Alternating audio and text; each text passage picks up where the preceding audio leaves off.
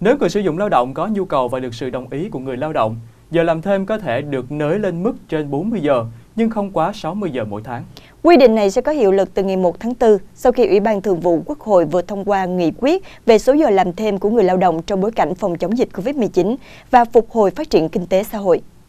Theo đó, trường hợp người sử dụng lao động có nhu cầu và được sự đồng ý của người lao động thì được sử dụng người lao động làm thêm trên 200 giờ, nhưng không quá 300 giờ trong một năm. Có 5 trường hợp không được áp dụng tăng giờ làm thêm gồm người lao động từ đủ 15 tuổi đến dưới 18 tuổi, người lao động là người khuyết tật nhẹ suy giảm khả năng lao động từ 51% trở lên, khuyết tật nặng hoặc khuyết tật đặc biệt nặng, người lao động làm nghề công việc nặng nhọc độc hại nguy hiểm hoặc đặc biệt nặng nhọc độc hại nguy hiểm, lao động nữ mang thai từ tháng thứ bảy hoặc từ tháng thứ sáu nếu làm việc ở vùng cao, vùng sâu, vùng xa, biên giới, hải đảo, lao động nữ đang nuôi con dưới 12 tháng tuổi. Ngoài ra, không áp dụng quy định này đối với trường hợp quy định tại khoản 3 điều 107 của Bộ luật Lao động. Về số giờ làm thêm trong một tháng, nghị quyết nêu rõ nếu khi người sử dụng lao động có nhu cầu và được sự đồng ý của người lao động thì làm thêm trên 40 giờ nhưng không quá 60 giờ trong một tháng. Nghị quyết có hiệu lực bắt đầu từ ngày 1 tháng 4 năm 2022, quy định về thời giờ làm thêm trong một năm có hiệu lực từ ngày 1 tháng 1 năm 2022.